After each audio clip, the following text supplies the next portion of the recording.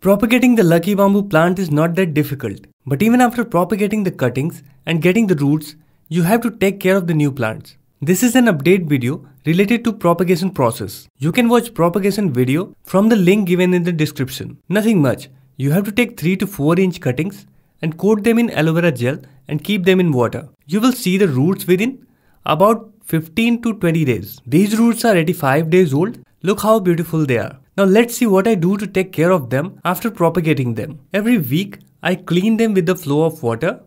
After cleaning their roots, I also clean the leaves as well. And I also change the water every 1 to 2 weeks. Sometimes I mist them by spraying the water.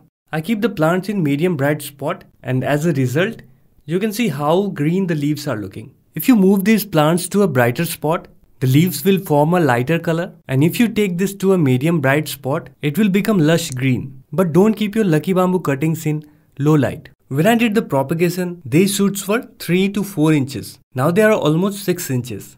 And with the roots, they look even bigger. You have to keep one thing in mind. When you cut the shoots, make sure that they are straight. Otherwise later they will bend like this one. I did not use any fertilizer till now. Still they are doing really great. And yes, I don't use tap water now. I use only bottled drinking water. This ensures I don't get any brown tips.